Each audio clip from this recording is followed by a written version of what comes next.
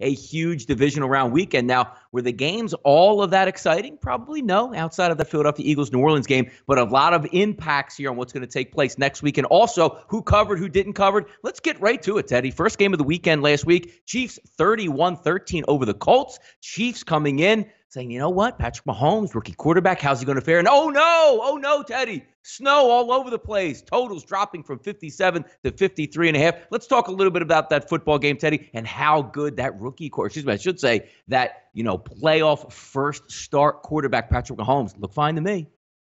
Yeah, I mean, what did we say last week? We're like all the first year starters, and then there's Mahomes, and Mahomes has been the exception to every rule. Yep.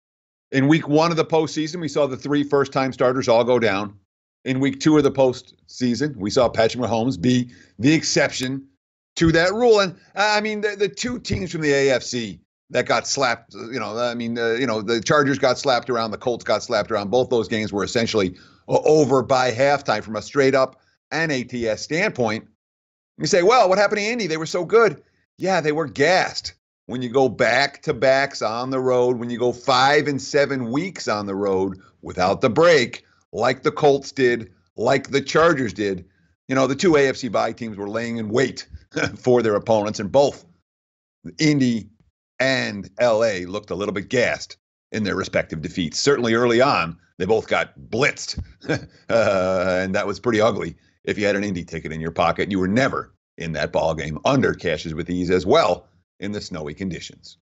Yeah, how about that, Teddy? 57 for most of the week. And then, you know, you get the whole TV ramp up there, snow on the field, which throughout the game, it actually didn't play that big of an impact overall in the game. I mean, sure, made for a little bit of muddy conditions there, but it's always interesting to see a three, three and a half point drop on the game, or excuse me, on the day of the game. And certainly at the end, even though you're looking for a late touchdown by the Colts, there still wouldn't have been enough to get over that total. Kansas City in a complete rout and run away. The Saturday night football game, the Rams took care of business against the Dallas Cowboys. One of the things that we featured, Teddy, which I think you said right here, if you're going to cash that Rams ticket, you're probably going to cash that over ticket. Both of those worked well. I thought the Rams from start to finish were the most dominant team, even in the first half, Teddy, when it was a 7 to 3 game that the Dallas Cowboys had the lead. The only thing that wasn't going on was the Rams punching it in the red zone. After a while, they got it going. And again, game sneaks over the total with the last minute touchdown on a questionable penalty, which again, a lot of people on that total were cheering for.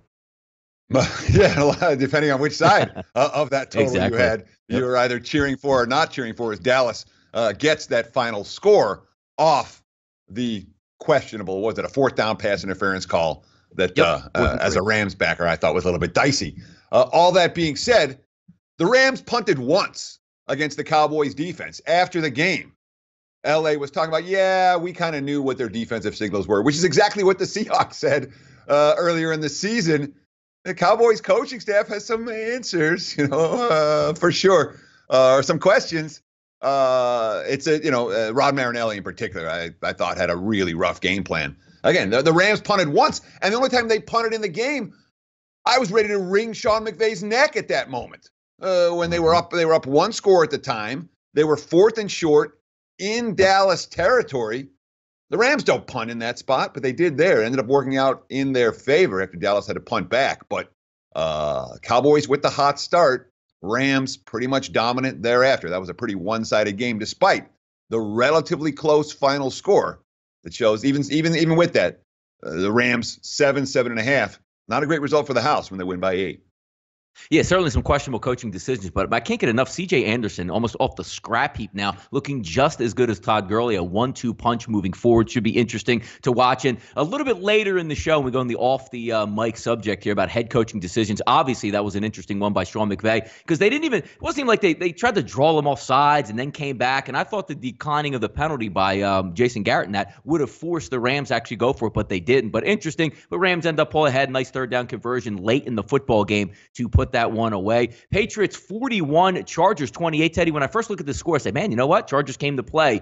Absolutely not. It's almost like they were delayed, or maybe they were in a three hour time warp, figuring the kickoff was three hours later on Los Angeles time as opposed to what they showed up. A long drive to start the game to set the tone by the New England Patriots, continue to dump it out into the flat, you know, inching forward three, four yard grips. And then all of a sudden, at the end of that drive, a flag comes out on a key third down Two plays later, the uh, Patriots punch it in to go up seven nothing, and never looked back. I was actually surprised because I turned the game off late fourth quarter with everything pretty much already wrapped up. I was surprised the Chargers actually got the 28 points to make it that close. If it was an appearance to be close, but what a runaway by the Patriots! Completely impressive there, and that'll be interesting how this plays in the next week's game with the Kansas City Chiefs. Yeah, 35 to three at halftime uh, after mm-hmm. New England punches in their fifth TD. Again, didn't punch uh, before the break, and the game was over uh, by uh, halftime. The only question in the second half was whether the Chargers were going to cover the second half number, which they did, and whether the game was going to go over the second half number, which it did uh, on the Chargers' final uh, touchdown. But uh, again, when you see these teams in dismal travel spots, and the Chargers were very much in a dismal travel spot, coming off a huge win, coming off another huge win, et cetera, et cetera. They were gassed. They played like it early, and the Patriots ran all over them. Belichick and Brady have a pretty good track record when it comes to playing postseason games with extra time to prepare, now making their ninth consecutive trip to the AFC Championship game, which is that's never going to happen again. That will never happen again, what New England's doing right now.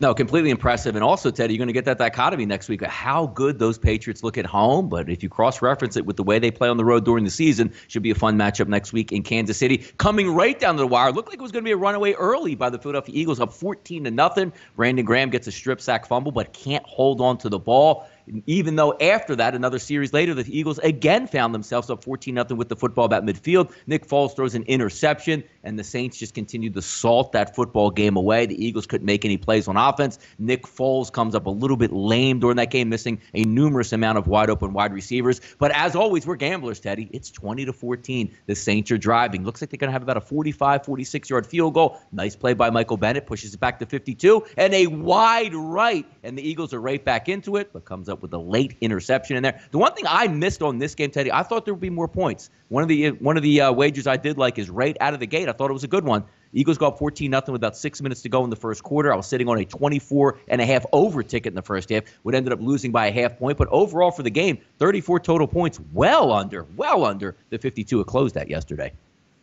Yeah, I mean, uh, after the first two touchdowns uh, for uh, Philadelphia, they didn't score again. Uh, obviously, the rest of the ball game. Let's give the Saints defense credit for A, making adjustments, mm-hmm. and for B, uh, getting to Nick Foles, and C, for uh, intercepting the pass after it went through uh, Alshon Jeffery's hands at the end of the ball game, which was the difference maker. Jeffrey, uh, obviously the GOAT today, even though he was playing with br- broken ribs and uh, you know, a gutty performance. Uh, but I thought the Eagles were coming down to win that ball game. I really did. After that missed field goal, and Bennett's going to get credit for the stuff on the third down. I thought the play call was bottom, I mean, inane, bottom line. Uh, everyone knew exactly what the Saints were going to do that game, including Philadelphia. And with the strength of that Eagles defensive line, no surprise that the play turned out to be a dud that forced a 50 plus yard field goal attempt that ended up being the miss that ended up resulting in a Saints cover. Now, had that kick gone in, New Orleans would have probably played a different level of defense on that final drive, and the Eagles might have come in through the back door anyway. But the one play, based on the one play call, ended up having a huge impact. ATS. Saints backers don't get the money. Eagles backers cash again as underdog, just like they've done in every previous playoff game that Nick Foles has been in over the past two seasons. Nope, certainly impressive. Crushing blow for us here in the Delaware Valley. But as we move on, there's more games to look at. We'll get to those a little bit later in the show. That betting show, folks, if you haven't done so yet, give us a follow at SBR Sports Picks on Twitter. Hit the subscribe button on YouTube. Every time Teddy and I go live here on this show, you'll get that notification. Pop in and check it out. SBRodds.com. All your latest line moves. We'll get to a couple of those in just a few moments. James Harden, Teddy. Hey, we look at the box score there. Man, drops 38 points, 16th straight time of 30 or more points but I had to do a double take. I thought it was maybe an error coming across my ESPN ticker, Teddy. One for 17 from three. Anytime something interesting like that pops up with such a great player, one for 16, excuse me, one for 17. It's one of those things where in the playground, like, hey, buddy, stop shooting the three pointers out there. But an interesting note overall. But more importantly, the Magic pulled a big upset in this game as well. Yeah, and a lot of it had to do with the fact that James Harden was one of 17 uh, from a three point line. I mean, Houston was five and a half point road chalk uh, over Orlando uh, at tip off. The Magic obviously getting the straight up victory in large part because Harden brick after brick after brick. And I know you got your guy, you let your guy shoot, you know, he'll find his rhythm. didn't happen for Harden last night. I've never been a James Harden fan. I continue not to be a James Harden fan. I understand the guy can score points in bunches. Show me a ring, Harden. My over under on his career rings, half, and I'll take the under. Yeah. I agree with you there. Talk a little bit of hot stove, Teddy. We talked a little bit on Friday, but some implications coming up over the weekend. Three interesting scenarios here. Manny Machado looks like the White Sox have offered now an eight year contract. For some reason, we have no idea what the money is. The Phillies contingent fly out to sunny Las Vegas and meet five hours with Bryce Harper, and they're the prohibited favorites now to sign Harper, even though we don't even know if a contract offer was extended in that situation. And the final point here trying to get Kyler Murray circled in. An interesting little, you know, backdoor policy here for Major League Baseball. They can actually sweeten the pot on getting Kyler Murphy in with the A's. Maybe his agent holds that leverage there. We saw this back way back in the day with John Elway and the New York Yankees, where he didn't want to go to the Baltimore Colts. Should we see another situation like this, Teddy? A little bit of hot stove talk here while we talk some football. Uh, sure. And look, uh, the, the one that intrigues me the most of the three, because we're going to hear rumors, rumors. I don't give a shit about rumors. Give me something I can bet on. Give me some facts. You know, uh, the issue with Murray and the A's is an interesting one here because Major League Baseball legitimately doesn't play pay their minor leaguers a livable wage, a livable wage. Minor league players make not they make like two grand a month.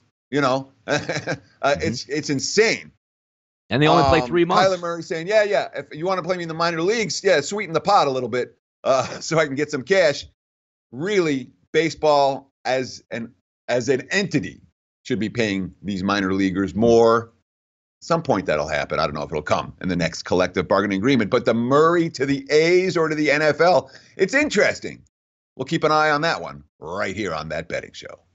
That's right, Teddy. Talking about those prop bets, which you always like to get after, talk, seeing like when are they going to sign both of us? I think in agreements that it's probably going to come later than sooner. So always some interesting stuff here to talk. We'll let you guys know when they do sign, if they don't sign, or any more rumors that come around the mill here.